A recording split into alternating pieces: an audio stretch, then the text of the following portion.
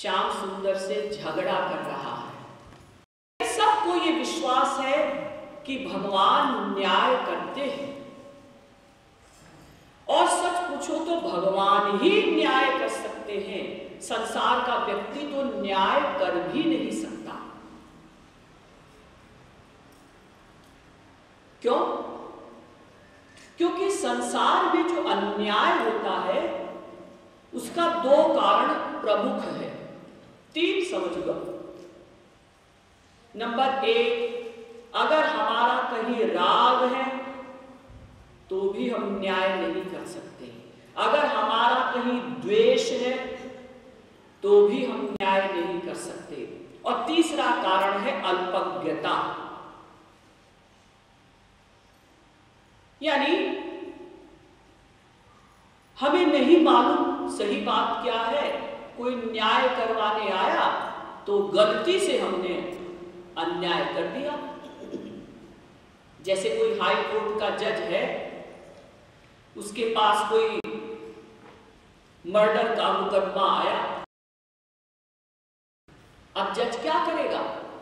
उसके पास जो फ़ाइल में लिखा हुआ है, उसी हिसाब से तो वो जजमेंट देगा। अब फ़ाइल में कितना सही लिखा है, कितना गलत लिखा है, वो तो बेचारा जानता नहीं, जज, वो अंतर्यामी तो है नहीं।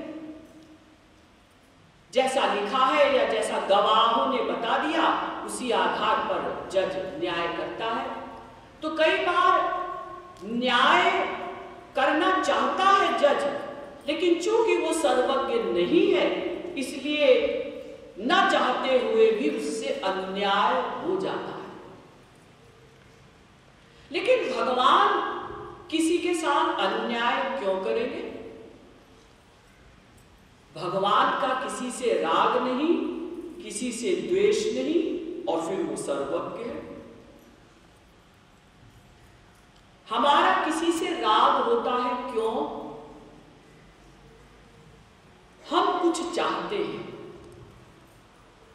हमारी उस बात को जो पूरा कर देता है उससे हमारा राग हो जाता है अटैचमेंट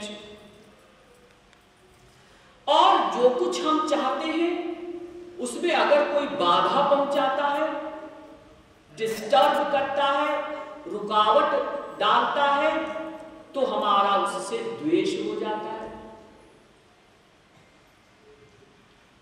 हम क्या चाहते हैं? प्रत्येक जीव का कुछ स्वार्थ है। स्व माने मैं, अर्थ माने मतलब।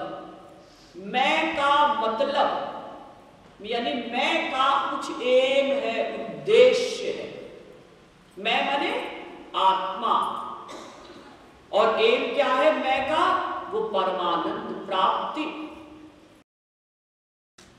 हमारे यहाँ बहुत सी कथाएँ हैं इसके लिए कि भोजन का मन पर बहुत प्रभाव पड़ता है जब तक हम अन्नमय कोश के अंतर्गत हैं। पाँच कोश होते हैं ना? अन्नमय कोश प्राणमय कोश मनोमय कोश विज्ञानमय कोश आनंदमय कोश ये पाँचों कोश शरीर से बनते हैं तीन प्रकार के शरीर होते हैं ना स्थूल शरीर सूक्ष्म शरीर कारण शरीर। तो स्थूल शरीर जो है ना, वो अन्नमय कोश के अंतर्गत है। तो अभी हम सभी लोग अन्नमय कोश में ही हैं, इसलिए जैसा हम अन्न खाएँगे, वैसा हमारा मन बनेगा, मन के आइडियाज़ बनेंगे अब इससे ऊँचा है प्राणमय कोश पाँच कर्मेंद्रियाँ और प्राण मिलकर प्राणमय कोश बनते हैं, बनता है। इससे ऊपर है मनोमय कोश पाँच ज्ञानेन्द्रियाँ और मन मिलकर मनोमय कोश बनता है। इससे ऊँचा है विज्ञानमय कोश ये सूक्ष्म शरीर कहलाता है। और सबसे ऊँचा है आनंदमय कोश ये कारण शरीर से बनता है। यानी हमारी जो वासनाएँ हैं, इच्छाएँ हैं, वासनात्मक शरीर भी कहते हैं इसको। अनंत जन्मों की जो हमारी इच्छाएँ हैं, मन के आइडियाज़ हैं, वो कहलाता है वासनात्मक शरीर। उसी को कहते हैं कारण शरीर। उससे आनंदमय कोश बनता है। जब हम इन पाँचों कोशों को क्रॉस कर लेते हैं, तब ईश्वर प्राप्ति होती है। तो अभी तो हम लोग अन्नमय कोश के अंतर्गत है। इसलिए मेरा तो आप लोगों से यही सजेशन है। मैं तो रिक्वेस्ट ही कर सकती हूँ, आज्ञा तो नहीं दे सकती।